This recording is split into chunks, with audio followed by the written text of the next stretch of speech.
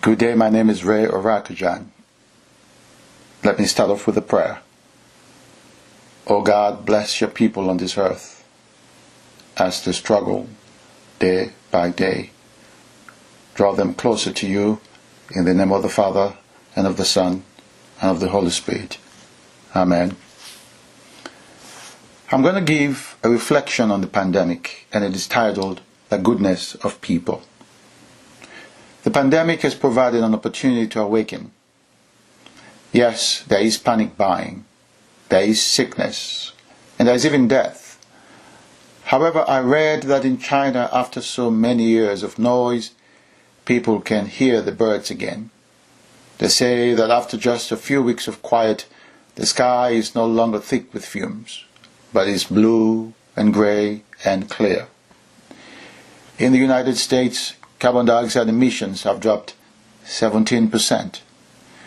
I read that in the streets of Assisi in Italy, people are singing to each other across the empty squares, keeping the windows open so that those who are alone may hear the sounds of family around them.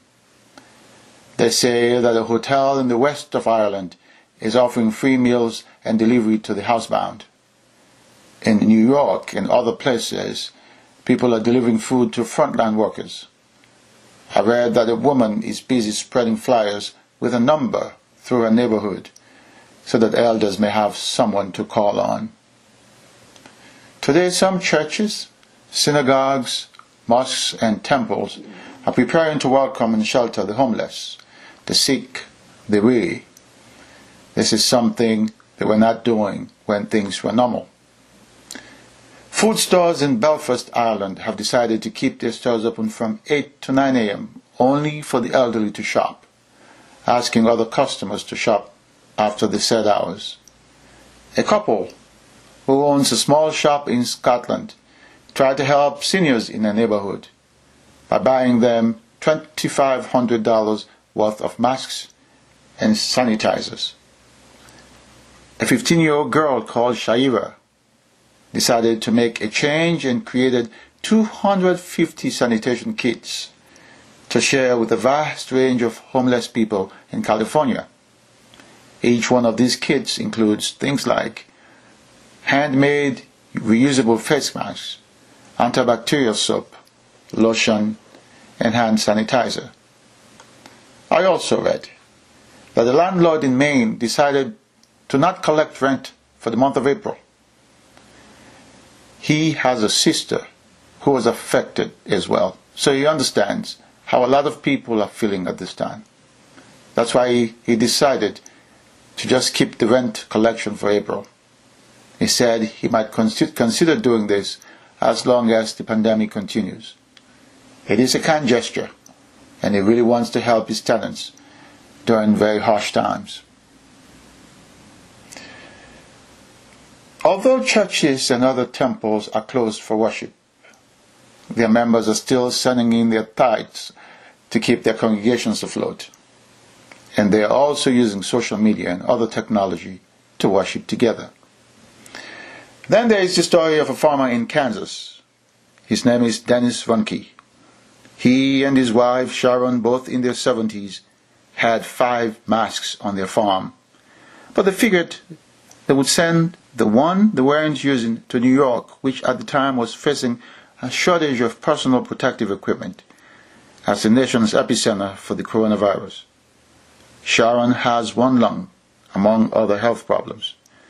Dennis wrote to the governor of New York, quote, Enclosed, please find a solitary N95 mask left over from my farming days. It has never been used. If you could, would you please give this mask to a nurse or doctor in your state? The governor praised the selflessness during his daily uh, COVID 19 briefings. And he said, Coach, you want to talk about a snapshot of humanity? You have five masks what do you do? Do you keep all five? Do you hide the five masks? Do you keep them for yourselves or others? No. You send one mask to New York to help a nurse or a doctor.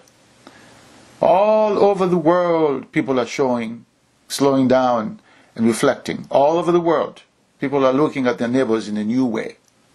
All over the world, people are waking up to a new reality, to, to how big we really are and how little control we really have. Paying attention to what really matters, to love each other. So, my prayer today is that we remember, yes, that there is fear, but there does not have to be hate. There is isolation, but there does not have to be loneliness. There is panic buying, but there does not have to be meanness. There is sickness, but there does not have to be disease of the soul. There is even death, but there can always be a rebirth of love. Amen.